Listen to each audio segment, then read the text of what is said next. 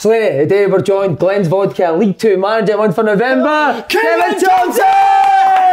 Oh, what a legend! What a hero, man. Piece of piss this management game, Tom, wasn't it? Second, second award already. I cannot believe we've just went for having a sophisticated talk. with him. What a chat it was as well, wasn't By the way, how, how calm yous were, and then all of a sudden you've just went. and yous That's when have the magic happens, yous yeah. have just, yous have just come alive, man. Um, I did hear your award, but where is it you've put it? Dick Campbell, wasn't it? He stole it, didn't he? Dick came in running and he stole the me, award, didn't he? and Dick have got a wee bit of previous. Eh, Ah, so I just noticed we, that. We need to get the boxing gloves on one day. eh? What? So what happened to it? Ah, he just- is, he's obviously won this as well. Listen, your utmost respect for Dick, um, and really enjoy obviously you doing an interview with him. He's uh, he's a character, isn't he? But The the- legend, aye. we we felt a wee bit hard done by as you do when you get beat.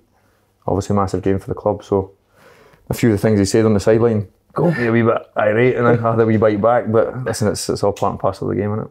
I'm a wee bit surprised you're actually alright with him. Did you know? he gave me a bit. Was he gave me a bit as well? Was? No, well the thing was, he, he started management brilliant, but he nearly made an arse it straight away by signing me in. Tomo, what were you fighting with that one? Listen, it's uh, I, don't want to make him blush on, on camera, but he knows No, how much he knows how much I think I'm Slaney, and Oh, he's he's um, obviously first job you want people that you can trust. One, I knew he was good enough to play in League Two as well. and I knew he would, he would. I think not so much under my management, but part of my team. I knew the type of boy he was. He would want to impress me, and he'd want to do well. And I know that he's got the talent to do really well in League Two. So even though there wasn't that much media, when obviously me and Jordy were starting to think about putting staff together, we wanted somebody to potentially play and be part of our team. And, and even though we're no best buds, he knows how much I think of him. So he, mm-hmm. he was definitely part of our thoughts. I think you're trying to take care. And he just tossed me off, so he's no welcome back. But mate, how come it's been so easy for you? Not so easy. it's not been but mate, you've mate. only lost one game. Did you expect it to, to go as well as it has Listen, I'm, I'm not. took over? Well, listen, I believe in myself, Yeah. you know. Um, we have a way of playing. I've, I've always said that when I get an opportunity, I'd want to. You know what motivates me, Si, is is- in, in Scottish footy, I think in general, people want to see you fail. So it motivates me to want to go and put on a good team, to try and play in a way to to back that up with the way the boys train, the way they they get treated here, the way we respect them as staff, um, and and ultimately, listen, it's a small world, and it's where you, if you want to try and get to the top in Scotland, players talk. Um, so when I got that opportunity, the one bit that's always stuck with me was that Tom will see when you become a manager, go and do what you've done as a player, the way you were as a captain, the way you were as a teammate. And I've, I've tried to be a bit like that as a manager. Listen, you can't be pals with the players. That's that's paramount. But at the same time, I think you can have a great relationship with them. And I'd like to think that the, the people skills that I've got and the way I treat people and the way I live my life, how humble I am, I think that that the players really respect that. Mm. See that time, how did you know though it was the right time to go into management? Like you're obviously at Rangers, but what made you think I'm actually going to take that next step now? I'm not so sure there is a right right time, Slaney, to be honest. I, I- I think I got to the, the the stage where I need that competitive bit, and I was getting wee bits. I was I felt a wee bit unlucky taking the B team because of the COVID circumstances and the bubbles, and, and some players been off, some players been on loan. The games program wasn't the way the games program would have been for Morty and Peter. They had a great games program, and they were they were really aligned to the first team. So I actually got a wee bit unlucky when I actually got that role, even though I got great access to the first team the games program wasn't quite as competitive, and, and, and then they were just like friendlies just to get first team players minutes, etc. Yeah. And I really missed the buzz they playing for three points. Um, so that was always my path. It was always my thought to, to start to learn to to know my trade, to know what I was good at. And listen, it might have been that I was really just good in the grass and, and a really good number two or a really good coach, and I would have tried to be the best I could at that. I've always felt that being a manager and, and being a leader is, is something that's really natural for me. Um, and in academy footy, you cannot really be a manager, really. Um, so I felt like that day was going to come. Did I predict it happening at Kelty or, or in League Two? No, you just sometimes your gut has to tell you, and you t- it's like being a player in it when you move to a different club, etc. And it just felt right. And when I spoke to as many people as I did, the manager, the board, etc., etc., I just felt that, that the opportunity was was it just felt right. So what was it? Just a phone call one day, Tom? Obviously, you had a great job at Rangers. Aye. Dean, Dean picked up the phone. He asked permission to, to speak. Craig Mulholland phoned me. I said that they'd had uh, um, obviously Dean on the phone for Kelty Hearts, and they obviously wanted to speak to us. So I phoned Dean. We, we had a Zoom call with, the, with the, at the time, obviously with COVID, with a Zoom call with the committee. Um, and Andrew Barrowman had obviously just been no officially appointed the sporting director, but I but he must was- have put he you was- off a wee bit, the fact that Barry was Bar- to be fair, Barra's, Barra's been great for us. To be fair, he's disappeared because he knows I'm probably going to huge, slaughter. ain't they? Wonder the size Yeah, of but him. we phone, didn't he? I He's had a good told- Christmas, isn't he? He's had a very good We told him Christmas. though as well, didn't we? Back getting fit, me. I think he wants to get. When? When'd you start, man? Are you joining Listen, in? mate, Nobody got anything else at that table at Christmas dinner. Just pick the table up, didn't you? right in it goes. Ah, He's a lovely, lovely guy, though, isn't he? Uh, he had, listen, he had a good career, so I, th- I, I think You had a what? he had a good career. He had a good career. Ah, he's, he scored goals, mate. I actually played, I actually played 21s for Barra, eh? so Aye, go good back guy, a I long like time him. So we, um, I think that without sounding like cliche, you, you need. I think when you get a job, especially for us in Scottish footy, like it's we've all got one aim to try and get to the top if you want to be a manager. That's like people that have been there, tried and tested. Everybody wants a crack at the top. So I think when you do take that opportunity, you, you need things in the right place. And, and for me to get the backing that I've got, I'm not naive. We've got a good budget. We've got good players. We've we've been greatly appreciated by the club. But at the same time, we, we have a style. We have a way of playing. We we've had to win games. It's listen, budget buys you nothing. As obviously you can know, you can go around all the all the teams. I will not name them, but there's there's there's plenty of other teams that have failed. So on the start, but we're, we're, we're delighted with what we're doing. Don't see you mentioned style there, right? I know if I, if I, if I had a, a You've got absolutely none of it. doesn't go, how do you be upon it? But Tom, if I go into the team right, and my, my first me- meeting is, then my message is to them, we're playing out no matter what. We get beat two games in a row, we're punting it long the next game. Well, will you stand by your guns and want to play it all the time? Have you got? Oh, he's got guns. He's a shooter. Good Aye, question. that's how I do it. That's how I do Just it. dropped that in well. Listen, I'll, I'll you've not got cha- personal as well, I'll not haven't change for anyone, Slinny. Oh, but you what, know what, what, one thing I will say is you do need to adapt.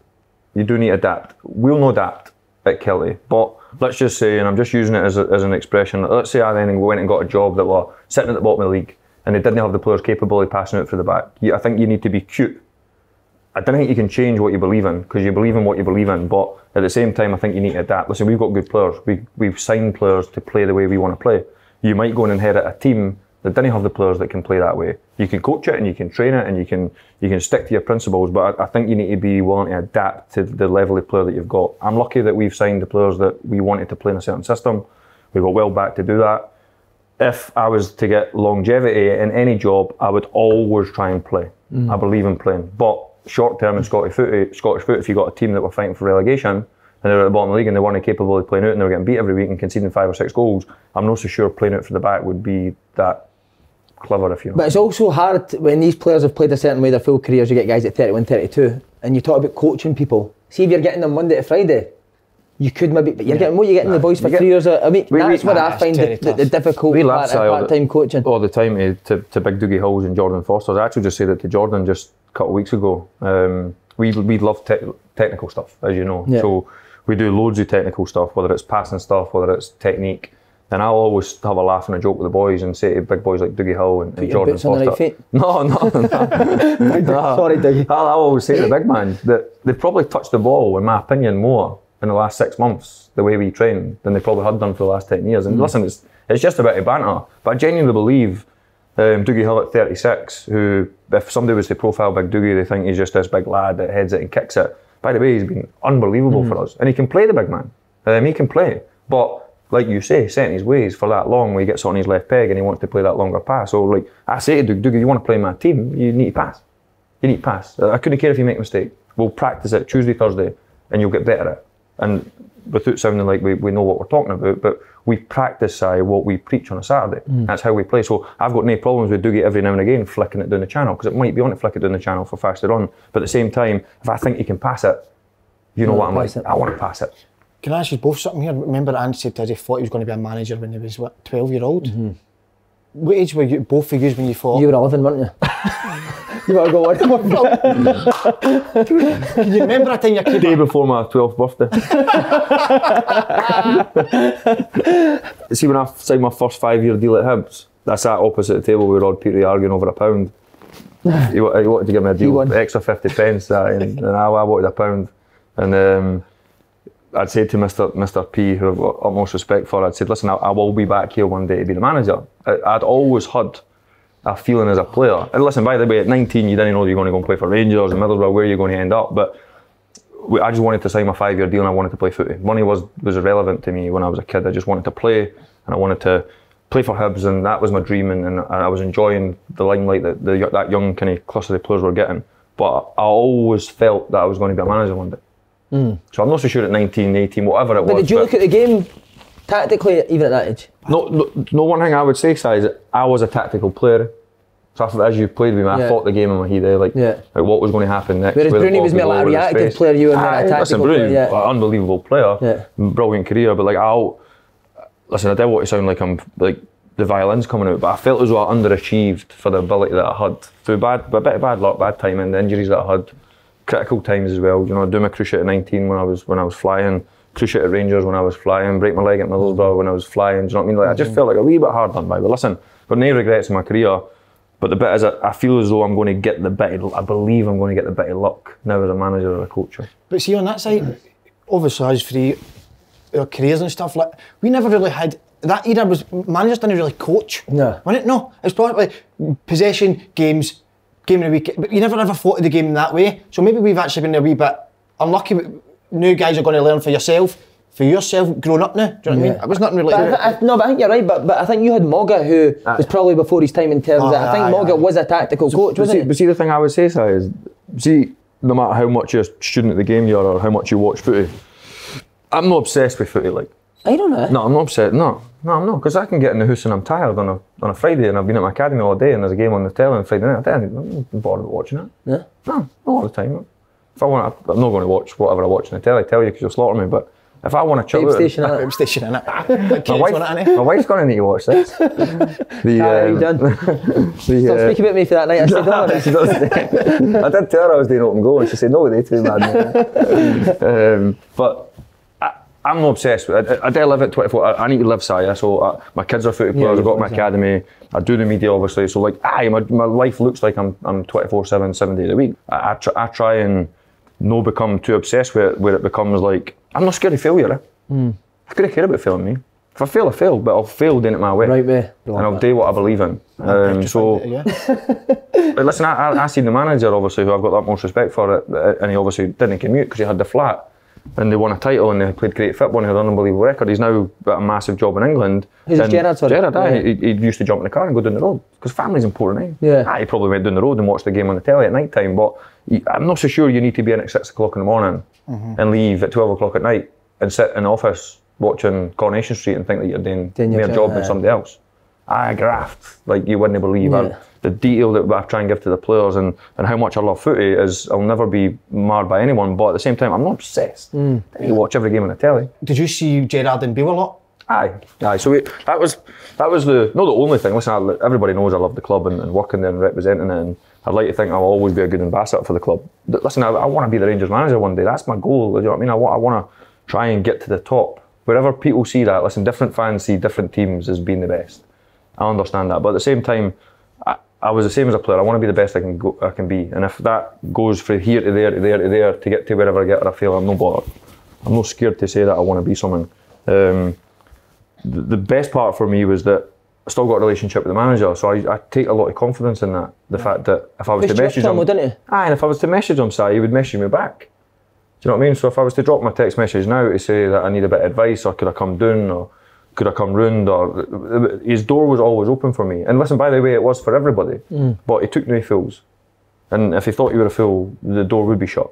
But for me, I took a lot of positives and a lot of confidence as an individual, as a young coach, that he would go his way to help me. to, to help me. You were very actually similar. At the the started with the youth and then obviously into management. Wasn't it very similar Aye. stages in your actual think, career? I'd like to think I've got. A, everybody knows I've got a wee nasty streak, and I've got a wee bit about me when I crack. That's I will tell you. I you think. scared them? Tell him. Mm. Did you shout at me? Nah, you passed Just like mate. disappointed in you at the time. No, It's a I bad was more disappointed than, shouting Did you ever, at did you ever play along, uh, alongside? I used to pop it all the time, mate. Did you just play? I mean, Zico, Zico could have put us in the same team in training. That was it. Remember Budapest? Oh, we kept it off him for fun, didn't I? Was, I was hopeless on the actual pitch. Training was brilliant, then on the actual pitch. I Nah, you wanted mate. Didn't yourself a disservice. Mm. You just Thanks, mate. that, that to be fair, like that, I, I love my time at Dundee. And it was, it was the boy. We had a great change room, didn't we? Yeah. The boys were great. Only for the first season. The wheels left come, after the, it. the wheels come off a wee bit. I I thought left. for the second season, but the, the camaraderie in the boys and, and all the different personalities that, that Zico had signed, it was, it was good. And we, had, we landed on when you think of Bainey going on and having the career that he had, and Greg and Greg Stewart, Stewart's and that. Do you know what I mean? Like his signings were even Paul McGinn. Do you know what I mean? Like the, the, the signings were were really really good and. and That was a great room. Aye, eh, was it? Good it was, aye, it was good. aye. Even like when when um, um, Kevin McBride and all that were there. Aye, eh, Barra, I mean, like Greg, Barra and etc. It was like it was a good changing room. Eh? See, just on Gerrard and Beale, because obviously I watched your team 4 3 3 shuffle across. So how much? Slide. But how much an influence in terms of coaching uh, have they had on you? Hi, pr- probably. I think the the biggest bit is players playing closer together. Side, I would say, um, and I- got lucky a wee bit because the last role that I had at Rangers through COVID, the boys went out on loan, as you know. Um, like some of them went to Clyde, Beacons, Ben obviously went up to Arbroath. So I was tasked with watching a game at the weekend, sometimes two games a week. So it gave me a wee insight into Championship, yeah. League Two, and League One um, through actual my job, rather than obviously jumping in the car and going watching games. You know what it's like when you're full time, you get less time. Plus, if you've got games on Saturday, it's hard to watch anyone else. Um, but the biggest thing I would get for the manager, where I've tried to implement into the team that I've got, is, is playing closer together. And I don't mean that like when we've got the ball, we spread out. I mean like when we've not got the ball No gaps. no gaps. Um, so we like our fundamentals here is everybody everything goes on outside of us. We slide, we shuffle, we whatever terminology you want to use, and we try and play as a team. Pains me when I see a front three attacking and another seven standing on the halfway line scratching their arse. So we've we've we've felt if we could get the team to play as a team and everybody move together, it might sound quite simple, but we feel as though no, it doesn't happen. Yeah, a lot of times you watch the game and some teams will attack with three and 4 and the other six are back the pitch. So uh, when I looked at trying to put an attacking team, we, we want to attack with five or six players because nine times out of ten, of my five or six players will attack. We're probably attacking against the back nine Because teams sitting against you. team sit in. Do you know what I mean? So they might have one up front. Do you know what I mean? Their goalie should be. So we do a lot of stuff where like trying to score a goal um, against like a packed defence. Do you know what I mean? Like how, how can Joes and Callums, the, the clever players, get their yards, but no, the yards one v one. Sometimes the yards have to get away for two or three players because that's what it mm. looks like on a Saturday. So. I, st- I stole wee bits, mate, but at the same time, I, I still remember the manager doing his first interview when he went down there and he got asked that question, like Benitez and, and Brendan Rodgers, etc., etc., etc. And he went, like, I've took wee bits off everybody, but I want to be my, I do it my way. Me, Do you know what I mean? So I feel as though the way we train, Slane, even though we steal we drills, like size obviously stealing them off the tits, we, um, we, we, we make up a lot of our stuff ourselves, eh? and sometimes I just like, yeah, meditate, but like I just kind of sit and think that like I want it to look like this tonight, and then we try and come up with drills with how it looks. So if we're playing against, I'm just throwing it out there like an Albion Rovers, and we think, or let's use Cowdenbeath because they were probably the most negative when we played them. If we thought that they were going to be that negative, or maybe bang it along and play off seconds, we would try and train like that. But with the ball, we would try and break down a packed defence, and then if we thought that they were quite quite clever and bang it long and chase it and pick up second balls, and we would try and simulate that on a, on a Tuesday and a Thursday. But we've said as well, I asked you off camera, how hard is that at part time level when you've some days only got 14, ah, 12, 13 it's plus? just talk, like, we, coming up with different ideas. And, and as well, sorry Tom, I know it's his interview, I shouldn't have butt I feel terrible I've done that. See, see as well, like, if you're if you're working all day, it also has to be fun in the right way. You bang on me, and that's that's, that's probably the thin line between um, where where listen. I did want a full time job tomorrow, but if I was to get full time, you've got a wee bit more time. You, you can you have breakfast with the players, you have lunch with the players. You can take Si out in the afternoon and work on something or whatever. You can maybe take like the back four and, and go and steal three or four of the young kids or whatever and, and simulate some different Yeah. stuff. Whereas we have to be mindful that the boys, like you say, bang on. Like the, paramount for us when we got the job get them fit, get them organised, and make them enjoy training. Make them want to come on a Tuesday and a Thursday. So our numbers have been meticulous. The boys, the the, the, the credit to them, and, and Tids is massive for that. We've landed on our feet with Tids, The Captain. the captain, to just how he marshals the players, how he demands of them, how he trains, and everybody else. And by the way, we've got loads of good players, but everybody else feeds off that. So he's almost done a part of my job for me. I'm not naive to that. If I never had a good captain and I had inherited a bad changing room, it's different, eh? But we've, we've have been lucky so far, so I'm, I'm not naive. But I'd like to think there's a part of that that, that we've done all right as well. Eh? Is there any managers, Tom, that you played under that you've picked up the phone and for a wee bit of advice and Aye, well, no since I've took the job, Slaney. Um, just because I feel as though I'd, I'd learned quite a lot before I got this job, because I hadn't just finished playing and went straight in and feel like I'm like hanging myself a wee bit. I'd done five years in my own academy, three and a bit years in at Rangers, and, and spent a lot of time learning. So I felt like I was ready for it. And then, and also the managers that I've obviously played under, no that many of them have been in League 2 Mm-hmm. Do you know what I mean? Or coach part time. or coach part time, mate. So, like, a, a, a Mogger, for instance, like I picked up the phone to Tony when I was going for the Pedro Caixinha job. I didn't want to phone Walter at the time because I felt Barry was in for it as well, and I didn't want to put Walter in a sticky position where he, Right. I'm asking for advice, he's maybe giving Barry advice. So I asked Tony for advice. And see, when I phoned Tony Mowbray for advice, he always said to me, sell yourself. They sell words. They sell football. Or like they sell flashing. four free free. Sell yourself. Yeah. Sell, sell you as a person speak the way you speak and people think you understand the game. They speak in a way that you didn't understand. So, then I'll use like PowerPoints. uh, no, so I talk- didn't present that. Yeah. Yeah. So we hardly do any analysis here. Any analysis. We feel as though we're the best team. We feel as though we've got the best players. We want to play in a certain way. Um, we give every team the utmost respect. Utmost respect. But we, I didn't throw, I didn't waste three hours on analysis when the boys have been at work all day, mm-hmm. looking at too much detail because players switch off. If I got full time, would that change a bit? Of course it would. If you got more time, but I didn't see analysis being that important for part-time players when they're grafting all day and they want to come in and touch a ball. Aye, 'cause when he turn up with it, if Yeah. I was going to do that. See, when you talk about Walter, what, what bits of him have you taken? humble and respectful, mate. You said that you're always Hum, humble and with the boys. respectful. Like I try and just be me, Si, and like I try no. I'm not off the cuff. Always think about my team talks. Always think about training. al- al- Always meticulously planned, but I try and treat everybody with respect, whether you're playing in the team or not playing in the team. I think that's important. And it- I'd like to think if you went and asked the 20 lads that are next door sitting in the changing room, and listen, there will be one or two that didn't like us, but I'm not so sure they'll not like us because training's not been good or I've not treated them well. They might just not be happy because they're not playing. And that's one thing you, you, as a manager, you can't get away from that. Mm. But one thing I would say is whether it's a Cammy Russell that's left to go to Spartans, Kenny didn't want to leave Cammy. He loved training. He wasn't really getting a game in the team, and we've had other players that have moved on or whatever. So we take great credit and pleasure out of like players enjoying what we do. And was Walter uh, like that, Tomo? What? n- n- I've never seen anyone. So I've, I've said this before. I actually might have said it you, Si.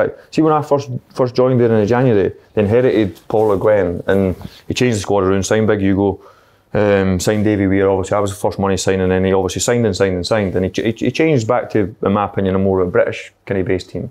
Played with obviously four centre backs, didn't he? Mm-hmm. Sasha Papac and obviously Kirk Broadfoot at the time. Before obviously Alan Played Hutton. six. Lee McCulloch played with. Sometimes Big Jig will not be happy. um, but he, he changed it, in my opinion, quite Britishy. Um, obviously, I come in for for Jeremy Clement. They sold Jeremy Clement obviously back to I think France somewhere, Lyon maybe. Um, I've said this before. There was you genuinely would have thought there was two teams at Murray Park. There was that many players. Sebos, Yonkos, Thomas Buffels, like the millions of players. Dado Pršo coming to the end, still had Stefan Klos, etc., etc. And Walter was obviously turning the squad round. Listen, I might be wrong because somebody might quote me on it. I hardly seen any unhappy players. And some people might say, oh, well, they're getting paid loads of money. They weren't. Hmm. Because see, players when you get to Rangers, you want to play. You're not happy when you're not playing. But he had a way and an aura that whether you're playing in the team or not playing in the team, you respected the building, you respected your teammates, and you respected the club. Um, and I'm not so sure that many managers could get that the way Walter did.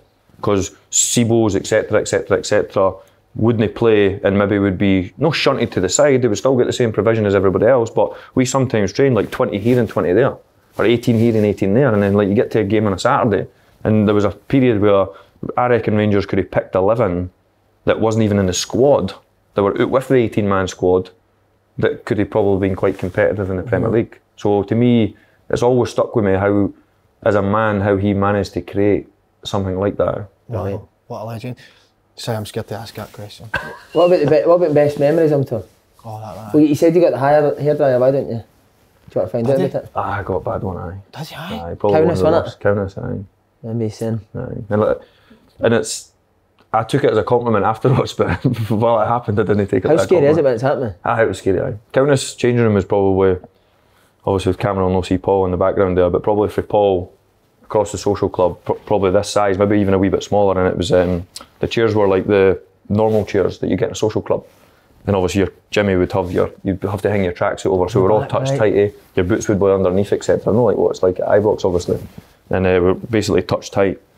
And I, I didn't realise I was I was doing it, but through the game, I was playing in the middle of the pitch with Christian Dailly, and he kept on getting the ball away, and I was getting a bit frustrated. And I was when he was getting the ball away, I must have been going like that, and that was it. So when we come in, obviously at the end to, to get knocked out of Europe, and I'd actually scored in the game. We got beat two one, and um, he just fucking erupted there. So, so did he come in and just go straight, Straight for for you? me. Did you have a feeling he was going to do it? Do you? Nah. Because you thought if scored, I've done all right. I, I thought I'd done all right. Christian's getting it here. He gave that. He gave it to me. Well, Christian actually controlled the ball at the sky late on, inside his fit and put out for a corner, and the corner come in and he scored off it.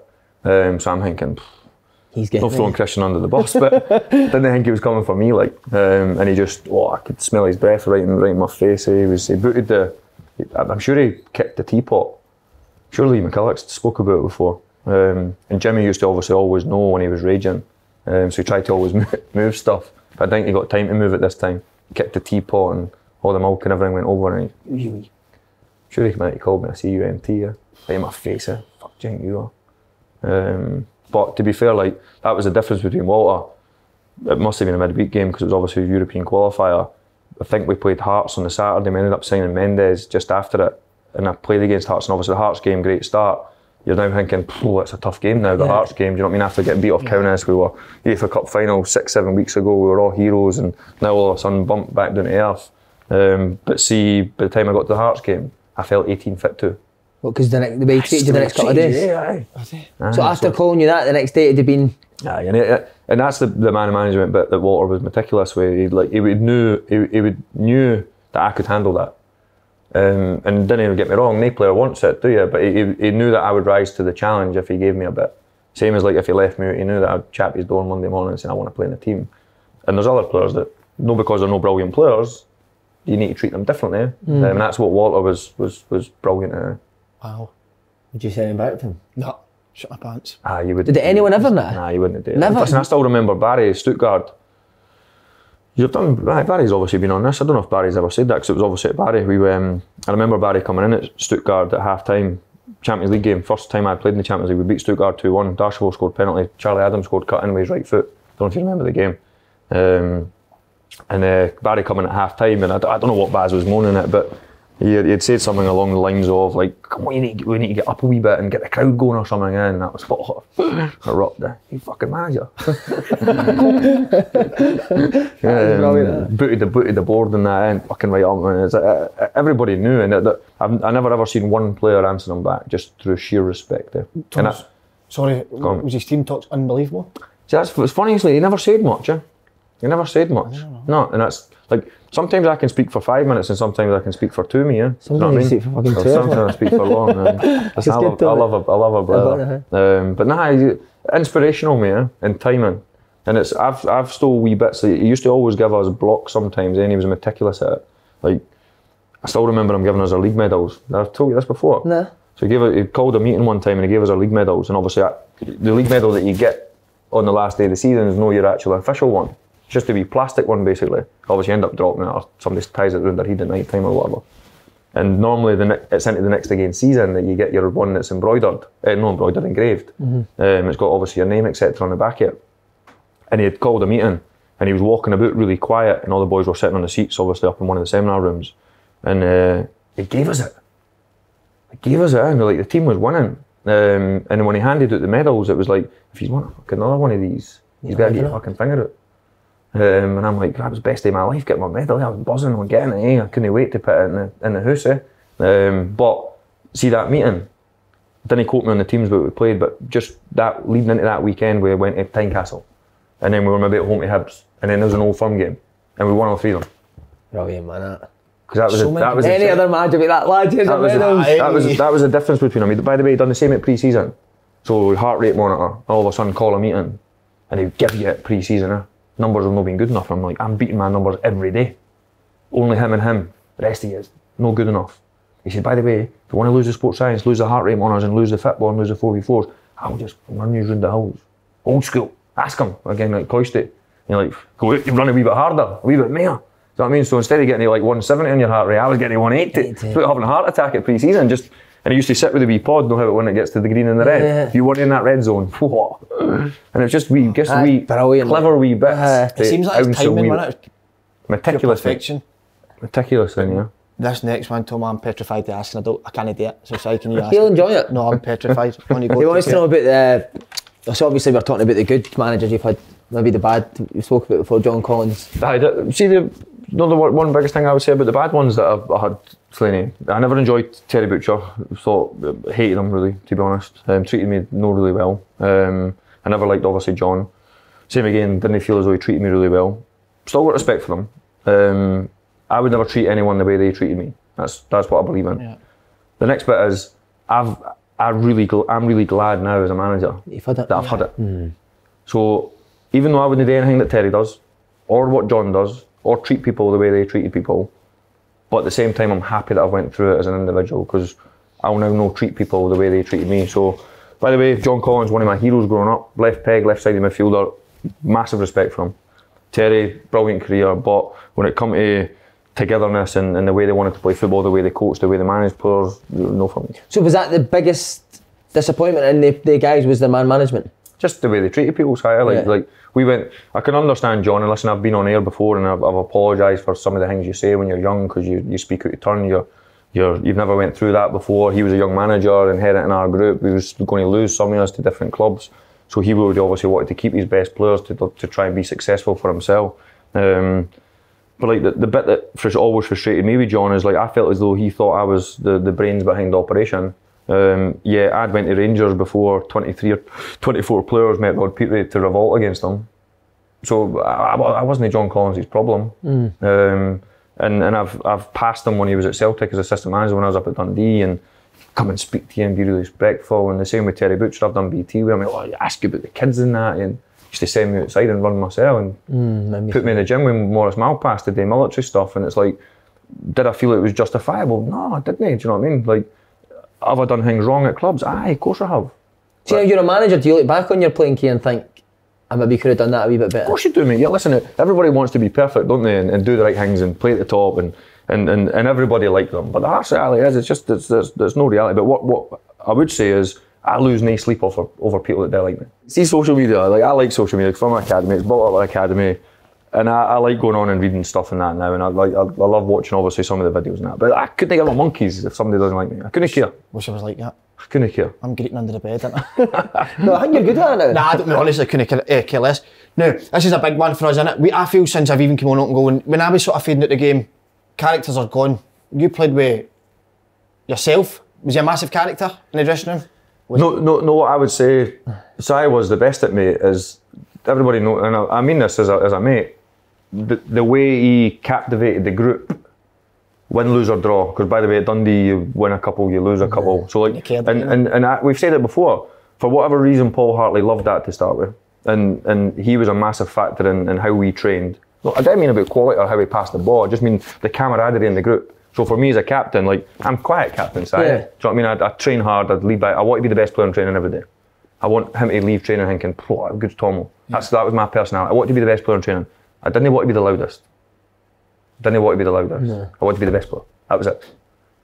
Whereas Si, I'm not sure he didn't want to be the best player, but his his banter, probably the best way to describe it, his camaraderie. And by the way, fit, fit as fuck. He Used to always say, I hate pre-season, hate pre-season, fucking at the front he was, fit as fuck. Um, used to go, oh, Tom, I'll run with you. If I run with me, I'm in group, I'm in group D. but his camaraderie was really important, in my opinion, for a club like Dundee because we, we, we scraped into top six Six, uh-huh. Just. Um, and in my opinion, winning a game, losing a game, because that's the type of club Dundee is. They might win two. Paul might win manager of the month. But when you lose two, having teammates like Si is really important. Yeah. Really important because, uh, in my opinion, listen, we just got beat, beat 5 1. The boys need to train well. They did train well last Thursday, obviously, after the game. But I think if you sulk and you, you mellow and, you, and you're a wee bit downbeat, and everybody will say, oh, the group's great, there's loads of enthusiasm, blah, blah, blah, blah. But then they lose five games in a bounce. Then six, then seven, then eight, then the manager gets sacked. I think Dundee could have been like that if we never had him. That's how big, and that's not just off the banter or, or like, but that's not even a playing thing. Aye. But I think the next day in season, and you quote me if I'm wrong, I think the, the laughs and the jokes, Paul then didn't like. Uh, definitely. Yeah. Which is understandable because I wasn't doing it on the pitch. No, when you're laughing joke when you're doing on the uh, pitch. uh, in my opinion, it, they never changed. You know what I mean? So I'm not saying Paul did because Paul's the manager; he has to decide what players he wants to pick. But I, I, I did feel a wee bit of a void, not just because he's my mate, but like the group then lacked a wee bit of personality. And when you lose a few games and you've not got any personality within the group, in the warm ups, in the boxes, in the possession, how you train three v threes, if it's if it's Champions League day, if it's competition day, if you didn't have personality in the group, I think I think the group struggles. Good talk. That's, That's good. brilliant, Good talk, that. isn't it? Well, Not just because because it's me, but I a mean, but that's why. But like, No, no, even no, how, you're right. how he thinks about a team and Hundred percent. Do you see now you're a manager? Do you look for characters like that to go into your team? Aye, aye. We, we listen. We've got great boys here, and obviously no, it's funny to me, but good boys. Yeah. the hardest thing, obviously, being a manager is you like people will say, "Oh, you do your due diligence and you like how they play, their fitness, how many games they've played, what kind of career they've had. Does Jimmy, Bobby, and Harry know them? Do they get good recommendations, etc., etc." But at the level that I've started at, I can't just go and sign everybody I want and have the perfect player. eh? So that's not me saying that I've not got the perfect players at Kelty, but like there's always going to be personalities that you didn't like. Yeah. and there's also going to be personalities that you want me. I do get too caught up on players that they like me or have different personalities to what I like. Because the one thing I feel as a manager is you have to inherit and you have to be a manager. And Jose Mourinho, Mourinho said it on the pro license. You have to manage players that you didn't particularly like. And I'm not saying I don't like anything, by the way. But I'm not going to go for a beer with all of them. Hmm. They know that. exactly. Do you know what I mean? And, and by the way, a lot of them will know what to go for a beer with me. But one thing I do is I try my best for them, and I respect them all, and I'm humble to them all, and I treat them all the same. That's letter of the law for me. But at the same time, there'll be some that didn't like me. I couldn't care if they didn't like me. Hmm. Mm-hmm. What I liked about it when obviously he asked me to come here, I said to stay with Peterhead. Next day, phoned this, this player at s- a certain team. What do you think? do you know what I mean? So, somebody else could have no spoke to me for a couple of months, Yeah. but the next day he's on the phone. What's he like? What's he like as a player? Do you know what I mean? It's just.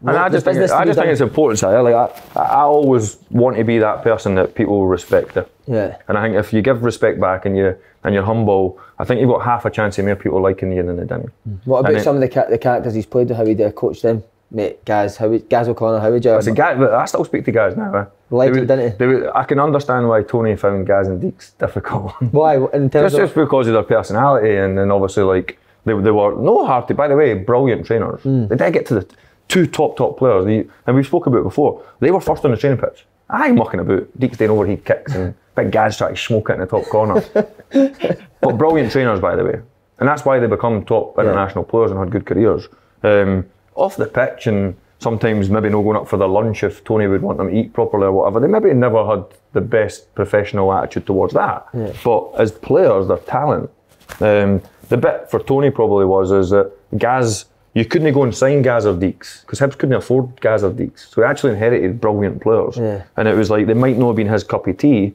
um, because they probably gave him a few grey hairs. But at the same time, I'm sure if you were to ask Tony Mowbray one day like about their talent, like unquestionable. And brilliant trainers, grafters. O'Connor used to be an absolute monster in Was he pre- pre-season. Monster, mate. Eh?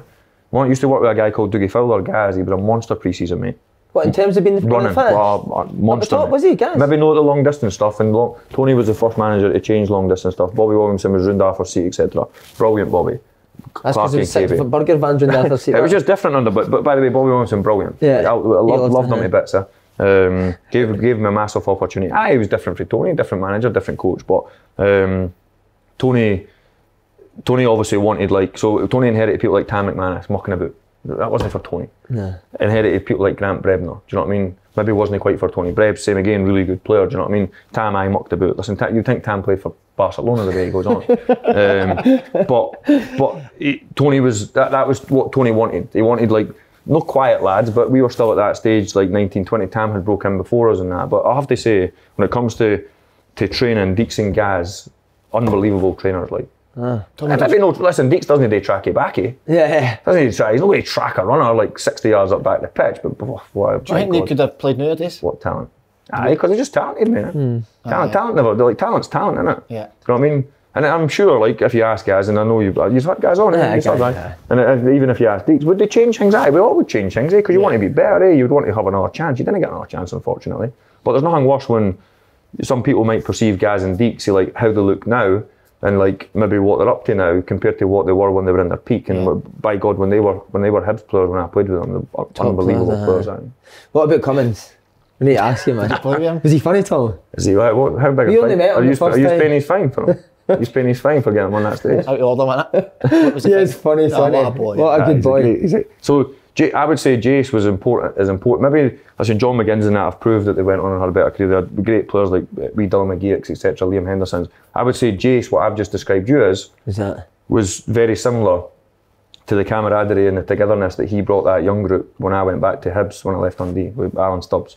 I would say that when you look, because Paul's quite, not serious, but quite placid, Paul, uh, great lad. Paul Hanlon? Aye, Yeah, yeah, yeah, quite, quite quiet. Um, and they were Dave Gray, quite quiet. Great trainers, Darren McGregor, quite quiet. So the older generation, Liam Fontaine, and then you had then the gap, which felt quite similar to my changing room when I first broke through. And obviously, I'm, I'm the oldest player by this this time. Kind of Marvin Bartley's and all that. I'm thinking I'm only like whatever I was, 31, 32, but I'm still the oldest player. Um, and maybe because I'd had the career that I'd had, I was always looked as kind of Uncle Tom or whatever. Um, but Jace was, he was an infectious character. Like, and by the way, he's cleverer than what he makes it. He's, he's, a, he's a clever boy, but he's he's as daft as a brush when he wants to be as well. And then on to another baldy banger, Andy Halliday.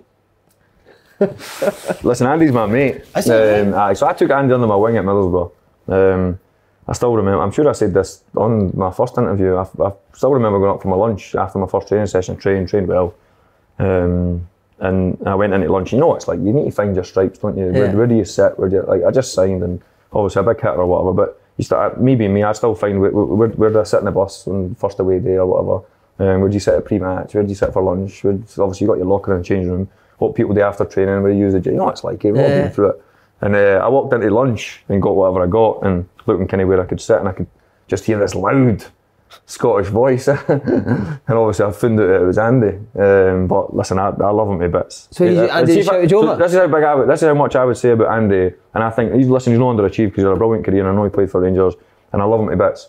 If I was to pick a five-a-side team when I was at Middlesbrough, Andy would be my team. No way! Hate that you said that. I, so I know why. Because he was so tenacious. He was like, and I was the same. Because see, whenever I wasn't in the team, I made sure that all the young lads were at it, at it. So if I wasn't in the team, you trained harder. Yeah. So see, when Terry Butcher didn't put me in the team, it was the worst thing he could have done. Because see, the stiffs couldn't get the ball from.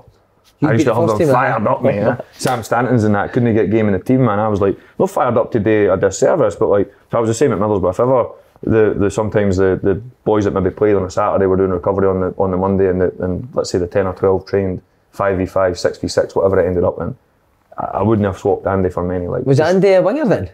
So he, he played predominantly more up front, but Up front, did he? aye, aye, as a striker, aye. Um, so he used to play for the Rezzies for. By the way, Steve Agnew, a good mention from because he's top ma- top boy. He was Yeah. he was under Steve Bruce at yeah, Newcastle. the and that ball guy, yeah, boy, yeah, aye. Um, brilliant coach, um, top top man. But Andy fluttered in between being in the first team squad and obviously playing more regular for the reserves because he he'd never really played as much. But see when he converted into being a left back. Um, when he first went in, Dick me on who he went on loan to start with, but but Mowbray had done the, I think it was. it Walsall? I was, I also. Um, Tony had done, in my opinion, even though different players, a wee bit like, didn't he feel as though he was right to play there for him, a bit like Stevie Whittaker.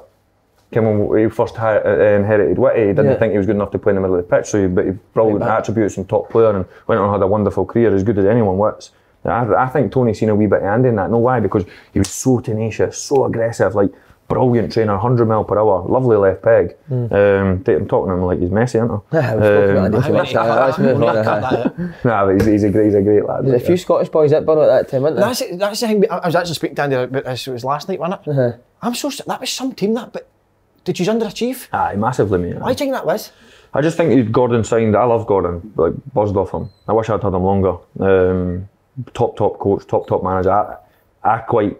I was right. sec- in- uh, I was right secure in what I believed in by the time I got to Middlesbrough. So like his wee chirpy comments and that to make you feel smaller than a snake's belly, if you know what I mean, didn't bother me, and he didn't really do it to me. Um, With the funny Tom, huh? Aye, at times, he was ruthless, like he was ruthless, but he was brilliant. Um, he could make you feel feel like that, but he'd never ever done it to me. Um, he did actually do, do it to me when I went away with Scotland, and it was the first time he'd ever done it to me. How what happened?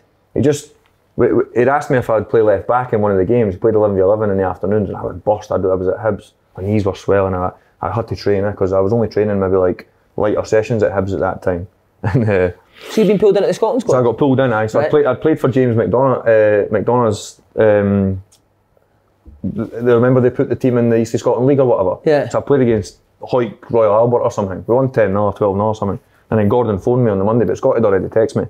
Um, it was Macedonia and Belgium. They played Belgium on the Friday night, and then Macedonia, I think, on the Tuesday, the Wednesday. So he called me in, um, and I was I was no miles off it. But in training and that, I could handle my aim. Anyway, in the afternoon, he goes to me, "I need a favour off you," and I was like, "I need ball." He says, uh, "Will you play left back for the first thirty minutes, and then I'll put you back in with your pal in the second game?" And I was like, "I need ball." So I've always I'm getting the ball with my feet in. I'm like left back. I'm just rolling into midfield. Eh? Stop that. I can better than that. Come on. Let me see you pass it forward with that purpose. And I'm like, I'm playing left back, man. Eh? Put me in the middle of the pitch and let me go and play. Um, like I felt oh because he never once questioned anything. you of me. in it. Aye, at Middlesbrough. Because I still remember going to him when I went over to Ireland. I said, Gaffer, I says, uh, I was used to fly back to Middlesbrough. I says, what, what do you want me to do? Um, I said, obviously I'm flying back to Edinburgh. When do you want me back doing? And he just went, didn't need to worry about the good players. He says, just come back doing in a few time, in a few days time. Just felt, felt great about yourself. eh? So I'm like going back, pack my suitcase to go back pre-season hard. You know, it's like you just spent four days away from family. He's given me a few days off. Him. Amazing that. What about Mido? Did we either with Mido, Tom? Aye. How was you? So see when I went to sign my deal at Middlesbrough, obviously I had a bad well, two bad knees, and my right knee scan had come back, and they weren't sure about it. It was a wee bit wear and tear, but it was 19, and uh, my left knee was fine. And uh, Gordon had said to Steve Lamb, um, was it Steve? No, Steve Gibson and The chairman, Steve Gibson. uh, aye, Steve Gibson chairman, but the boy Lamb uh, was the chief executive at the time. Can't mind his name. Um, what's his name? Oh, I can't remember as well. He'd uh, Gordon had said, "Listen, no bother about medical. As long as he can beat Mido in the pitch, he said that's enough for me." and at the time, I hadn't seen Mido, and obviously, then I did see Mido, and I thought, I couldn't have failed. I could have went backwards and beat him round. What was he like? Was he a good guy? A brilliant mate. The boys loved him. Man. Great, great, great guy. He, he, the actual Tony tried to get him fit, didn't he? When when Stracco left, and he, the chairman was paying him whatever he was paying him, fortunes, I think. Um, he used to, he used to, he had a white Rolls Royce, um, and Gordon Strachan used to call it the ice cream van. he used to, so he used to train at different times, eh? So he used to, uh, when I first went down, and Gordon was showing me around, and that he's oh, there he is in his white ice cream van, and uh, obviously Mido got out, and he, he wasn't that fit at the time, um, but, but obviously an un- unbelievable player. He Did you trained bother his ass? just nah, he, I just I think he just lost his way. He come from quite a lot of wealth, and obviously the rumours, as you know, he, I think he earned a lot of money. So I think the way he'd maybe been treated and things hadn't fell into place for him or whatever, he'd lost his way a wee bit. But he did, he did, try, eh? he did try and get fit, and he joined in training, and he was he was right good. Like he He couldn't played move. some good teams, didn't I mean, he? he couldn't move any further than this table, but if he got the ball at his feet and he shifted it, he'd, uh, you could tell he was a top player. But he just uh, the local boys like Tony McMahon and Bateses and that that I become quite pally with. They obviously looked up to him massively because I think when he was fit and he was the main man, he was it meant to be brilliant with the boys. I was wondering, look, was this the first interview you done? Aye, aye. have you watched the documentary, Aye, Tom? Aye, you texted us, didn't you? Aye, Aye. first one, aye. Very first interview. First So one. see when he done that, because he's, I was saying this earlier, uh, actually. See now when you watch him now on screen, is he was he completely different? Mate, did you not see the documentary? I actually never asked you a never- question, mate. He's never changed, eh? See the first, see the first interview, Tom, mate. I never even asked you a question. No, but I, was hopeless at it. Ah, I, know, I, I remember. Um, uh, you were nervous, eh? yeah, nervous. Could you Well- tell that Tom why? Ah, nah, only because it, it's the typical. Now you do it really natural the way you want to do it. eh? So like you're not even looking at the questions. Like, and you've already got a question in your head. The next one. Whereas when you first do it, you probably put too much pressure on yourself, thinking that "Oh, I need to read this properly. Whereas questions are actually better um, for you. So even the way you have just interviewed me here is actual. Probably what's written on the paper is not quite how you've said it. Yeah. Whereas if you want to do it word for word, I think we're on the same boat. I, I hate scripting stuff. eh? And when it becomes really natural, so I would say he's he's never changed, and that's the biggest plot of the day. But you, you were always natural at it anyway, Yeah. and probably trying to overthink it. Not being natural would then have no made him do it good, if that makes Did sense. you think then though that it was going to go the way it's went up and goal? Well, when I knew when he was involved with people like Paul and that, and the brains behind the operation, I thought he's, It's like He's you, got- Bruni, he's innit? John he's Collins. got half a chance. eh? if he had turned up with his wee portable camera and, and saying this is got an interview for open goal, I would have That's thought, what just the me. f- I would have thought, fuck's he doing? But I actually Um, but made up that I needed a toilet that day. When he got us, Gee, doing that? Just he to get- got us even, they got us in a lounge at Easter Road as well. Beautiful, looking famous five star, looking onto the pitch, glass windows. I'm thinking, ah, he means business here. That was mate. brilliant. Never look back, have you? That was it, mate. That's Start unbelievable. it. That. I can't believe you looked on the back. Probably should have got my couple of tickets to the Hydro, seeing as he let us Ah, interview he him just first. shafted us, eh? Did you not offer him? Nah, I didn't. Well, He was getting him to everybody as well. Ah, it You trained Thursday night still. I- In fact, I did. Tids, I was told you were training. Thanking him. Couldn't have took a night off, eh? Uh, You'd rather me pay 40 quid to come and watch it, wouldn't you? No, I would never charge you, mate. Never, never. Would you not? No, no. But Just what last we year, used about his academy, mate, because he's a, obviously a first team manager. And I'm, obviously, got- I'm involved with, with youth players, Tom, and I've got them now inverted, ain't I? The, all the kids playing inverted fullbacks, Tom, I'm massive on it, ain't I? After speaking to But Alex. he wants to open a Glasgow. He always wanted to open a Glasgow branch. You could be the man to head No, no, no, keep away. That's my territory, innit? I want to run that. Oh, you want to do I your want to do my- So, Tom, you still do the youth, aye? Aye, I've still got the academy, mate. You're really, you're really big I'll, on that. never, aren't aye, I'll never change it, mate. I just, How many years is that now, Tom? Five years, mate. Five years past November there. So uh, the hardest thing is where I want to get to one day. I, I, so we're a two-man band, Slaney. So we don't have. It's not because we think we're the best. We just my products. You come to my academy, you get me.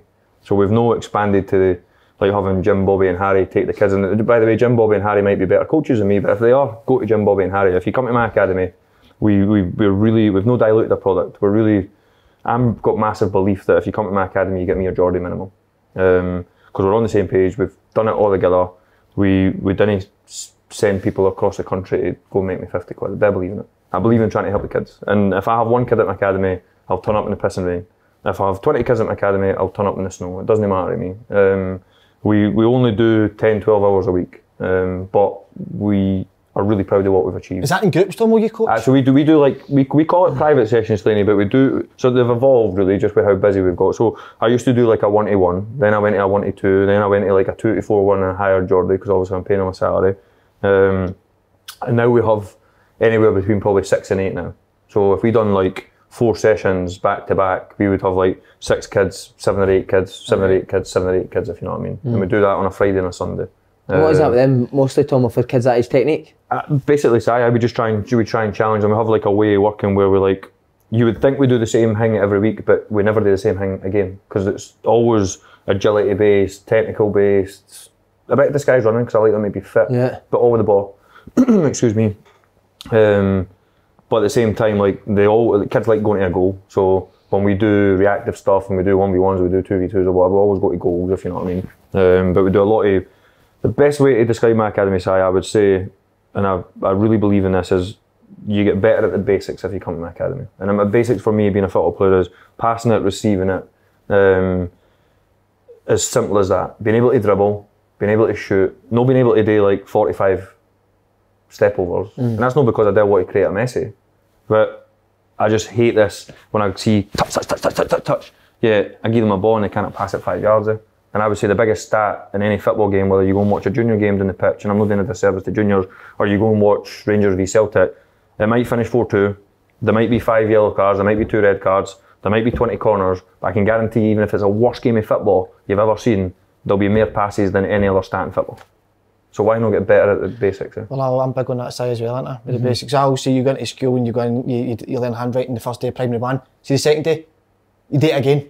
You don't go and do it with Bobby Saying Jim Harry, I mean, Bobby Jim and Harry. what's your future plans in management, Tom? I think, uh, not, see the reason why I've done the academy, Slaney, and, and, and done the, the part time at Rangers. And listen, I never got to pick that I worked with under 13s. Obviously, I'd asked Graham Park if he could put a good word in for me to, to get back to the academy. I actually applied for the 20s job when I was on holiday one time and it became available when March ended up getting it. And I think off the back of that, Graham had obviously spoke to, to Craig Mulholland, etc. So there was, a, there was an opportunity for me to get in. The reason why I wanted to do the academy is because when I looked at people like Tony Mowbray, who I've got massive respect for, he'd done the Ipswich Academy. Mm. And then when you started to look at other people, you look at Brendan Rodgers, etc. yeah. Do you know what I mean? Some of the aye. And then obviously then you go your Peps and that, they've done the B team, etc. etc. So I felt like when I got offered jobs when I first retired, they didn't know nothing about me as a person. They didn't know nothing about me as a manager, and they were just hiring me because I was Kevin Thomson, the player. And I might have still got to where I got to because I believe in what you believe in. I'm not so sure this experience word getting sacked and being around the block for 10, 10 years makes you any better than somebody that's no failed. I think you know what you know, and you can continue to get better at it. I'm not so sure the person that doesn't know everything that you know, if he gets a bit of experience, is ever going to know what you know. Mm. That's what I believe in. So the longe- the longevity for me is really important, mate. Hence the reason why I've done the academy, and hence the reason why I've done the path that I've done. And listen, I might fail. We might get beat at the weekend. We might get beat the next ten games or whatever, and I might not get to where I want to get to. I believe I will. And I believe the route that I've picked was right for Kevin Thomson, not for anyone else, just what I believe in. And, and doing the academy, and I say to Jordy all the time, like, we're that humble that I believe, and I'm, I'm no better than anyone else, but we still take the community schools for free. We still help all the community. You will know that I'm obviously selling my boots to help the community. We, we do a lot of stuff for the community that takes you back down to being really humble. Because I go through looking after Tids and Barjos and Cows and Joes, etc. Here on a Tuesday night, and then me and Jordy go to school on a Wednesday and we look after the P4s at Oxgangs, the girls' P4s, and we take them for an hour session. Hmm. That's brilliant. And if you can't tell me that that's no, in my opinion, about trying to give something back. It's not about the money. It's not about setting up an academy or what everybody thinks that you're a rich football player and that's all you want to do. I, my passion is trying to help the kids. So even though I'm a manager and I want to get to where I want to get to, the next bit is I'll never ever gravitate away from the development bit because it's, it's really important for me. we need to give you a shout out to Jordy, assistant manager. Johnny's top man, mate. As, Yeah. as you know, listen, Played against him when we were kids. Played against him, man. And obviously, I was I was at Hibs with him, Yeah. obviously. Um, married to my sister, so Yeah. like a family investment as well, really. Um, maybe if he wasn't in my sister's, I'd maybe kick him He'd out. be in the bin at Harry, 100%. I'm only kidding. He's uh, listen. He's top man. He's. I think the good thing about me and Jordy is he's got an edge. So I get frustrated at times with the standard of training, or if it drops a wee bit, or um, if it's a bit sloppy, or, or just things in games as you do as a manager. But he's always there to like challenge me, but have my back. I think that's important. Um, I just said that to to to um, to Dean and Barra that that trust's really important when you get a job, and I, I trust Jordy with my life. He's, he runs my academy single handedly now, even though I'm always there, and he'll run training the night, and it allows me to do like the bits that's important for me. Like we're in January transfer window, so trying to sign players. We've obviously signed a new player, so it means that I can have a chat with him, which I think is obviously important. Normal, you'd expect anyone to do that. But we've also got players that might want to move on as well. eh, So I think if you want to do everything and you feel as though the person that's potentially underneath your our class is just. I always talk to me and Jordy about us. It's not about me being the manager and him being the coach. It's just about us where we can get. Then obviously got Big Ryan as well. But listen, for the committee, right through to Dean and Barra, everybody involved in the club, I, I'm no naive to think that they're giving me the best chance to succeed. I'd like to think they've they've got the right man in, in, the, in the position. What a That's us. masterclass. After listening to you for an hour, you have made an arse yet, no Glenn, haven't you? You've made an absolute arse. You getting a boot soon? Can we join in? You enjoying anyway? Let's I'll go. give you a clinic, let's go. Well Enjoy done. Cheers, I'll Tom. it.